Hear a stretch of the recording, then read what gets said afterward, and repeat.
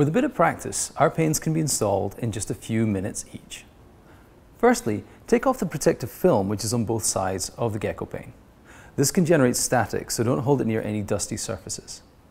Next, holding the aluminium frame towards the glass, push the bottom of the gecko frame into the bottom of the frame until it makes contact.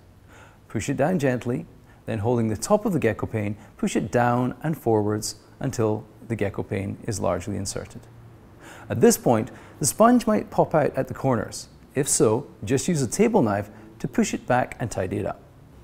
Working your way around the pane, use your fingers to push the aluminium frame back towards the glass so it touches the glass, but don't push hard.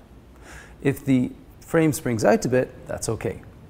Next, using a table knife, hold the aluminium frame gently against the glass and tuck the sponge surround back towards the glass all around. This tidies the sponge and provides a good seal.